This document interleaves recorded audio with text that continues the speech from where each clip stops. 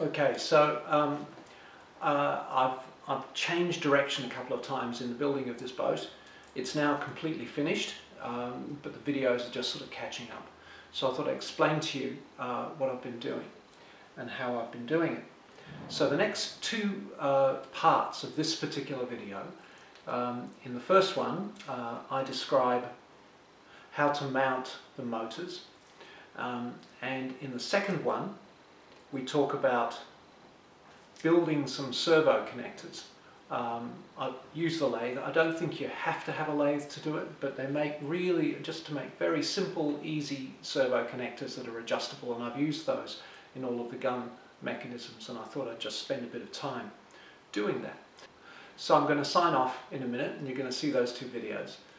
Following that, however, I'm going to have the next video, uh, one in which I strip the boat out completely and then build it all and I'm going to talk to you about the various parts as we do so. A couple of changes have occurred. One of them is that um, I'm using smaller motors. It's 1400 kV, kVI, I, don't know, I'm not expert on this, but, it, but it's, a, it's a less powerful uh, motor to use with the speed controllers and the result is that the boat's running at a very nice speed. So I'm pretty happy with that because the previous ones were too powerful. So in this video you're going to see me mount the previous more powerful motors into the boat but I use exactly the same technique now to replace them with smaller motors uh, but I've changed one thing instead of using uh, 4mm perspex I'm using 2mm and that is really nice because it, it allows a little bit of flexibility in the mounting of the motor automatically but I use the same system of, of heating it up and bending it and then then connecting it the whole system together and then um, gluing that in place. That works really well. So the motor's great, everything's actually running very nicely, so let's get on with it. The, the big issue is how do I connect the motor deep inside the hull and I've just noticed that these motors have come with these whopping pieces of material which fit perfectly across the um, across those connectors in there and presumably you can stick a screw through that side. Now I'm not going to do any of that. I'm going to use some perspex. I have to drill out that hole and I have to drill two holes in there perfectly and I'm just going to use two screws that will be enough. I'll be able to screw that in and they take um, through 3 mil um, screws which I have a lot of. But what I can use these for, and this is very exciting, is I can drill that hole in there, put a screw in it, put a tap in it, and then fasten that one in, and then I can drill the other one to that so I can get these holes perfect. That's pretty good, even if that's all I use it for. So once I've got this screwed onto here, the next step will be um, to get the torch on it and bend it right the way around. I want to make sure it's got room between the base of this, between that piece and the base of the hull. Once I've got it round, I'm going to screw it all together and then put some, um, I think I'm going to be using some car filler to completely fasten that in place once all of that's nicely done. And um, the, the way to take the screw off will be to take it off like that. And I've just been checking that I can do it on the inside of this. That's pretty good. Let me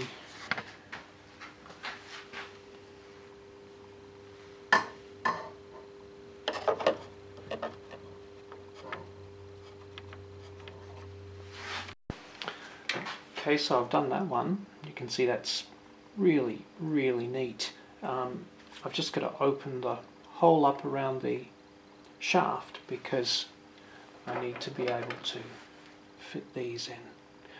But that's easy enough. Now, I've drilled one hole here and I've screwed it straight in and now I'm going to just put the drill straight through that one or part way and then take it all apart and finish it off. I don't want the drill to plough into my um, uh, into my motor. Alright, I've got both of these done. Now I will clean all this up in time, but the thing to do now is to heat hmm, this is the way it's going to go of course, the wires will go at the top but I'm going to heat this perspex gently and then throw it into the vise at that level and bend it back.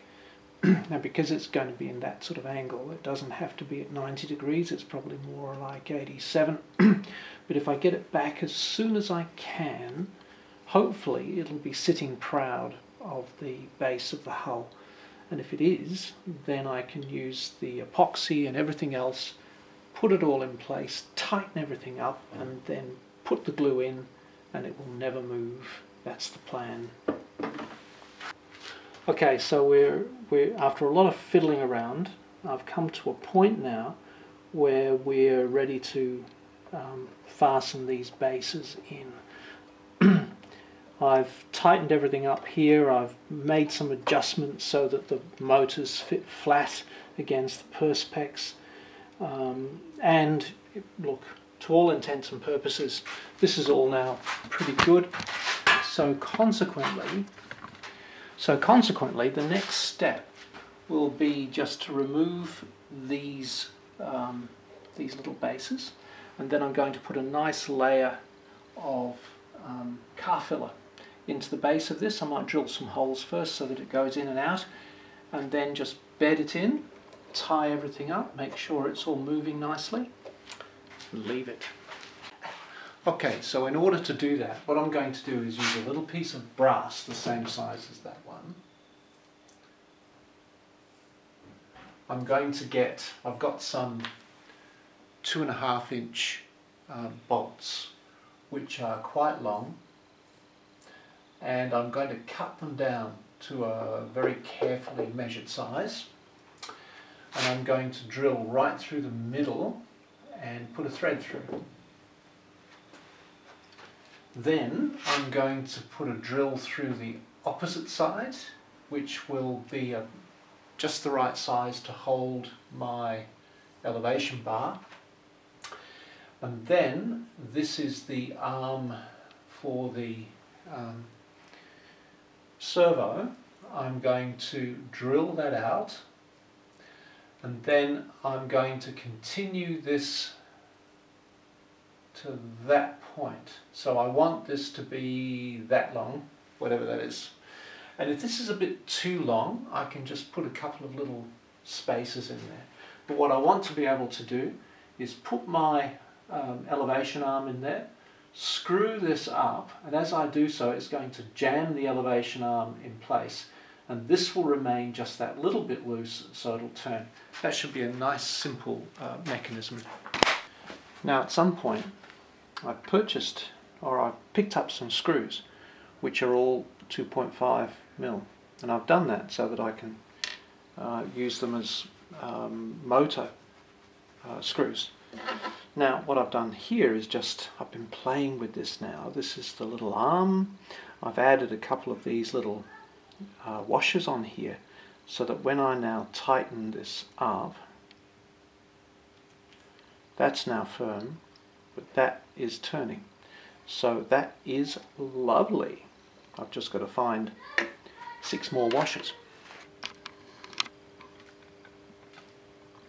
Okay this is the bowsprit and that involves two little wires like this.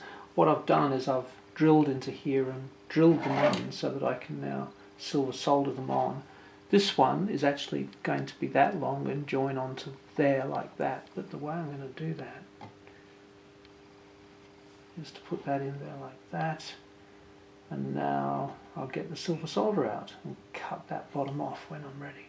Here is the stern one, once again carefully drilled out.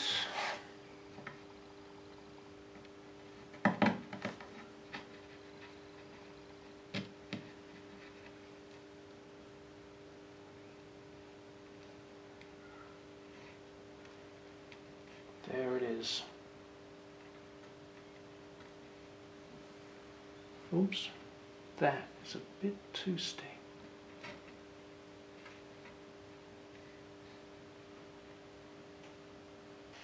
What I want to do now is just fix up this top deck and how it works. It has a few different parts on it and um, I had previously screwed a couple of um, battens in there but that wasn't very useful.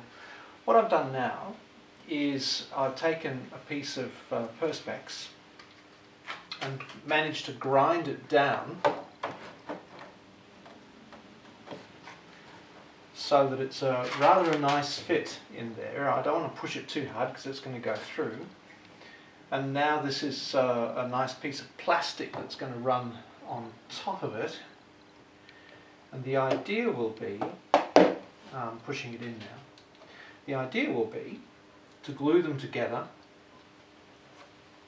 and then put some sealer on either end with some um, uh, protection for this because I don't want that to be stuck to it. So I'll probably use my favourite method of glad wrap around there to keep it safe so that this will just pop out and it'll all be quite strong. And I'll just have a couple of um, uh, maybe a couple of screws really tiny screws one there and one there just to hold it in. Um, because it'll all be sealed and it'll be quite quite nice I can just take everything off. Got some lovely carbog on this just fitting it into the spots on here. And this is going to help seal this into the top. Now while I'm at it, let me also fill a couple of holes that are no longer needed.